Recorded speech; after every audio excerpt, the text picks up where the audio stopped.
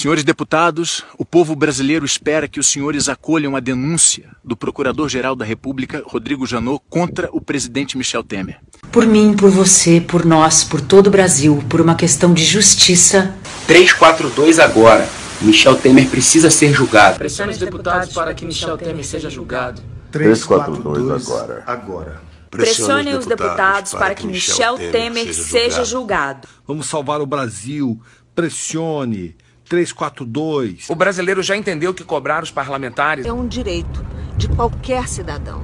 Acesse 342 agora e pressione os deputados para que Michel Temer seja julgado. Escute o seu eleitor. Vote para a investigação de Temer. Vamos pressionar os deputados para que o Michel Temer seja julgado. Agora é deixar de lado as nossas diferenças e se juntar por uma causa mais importante.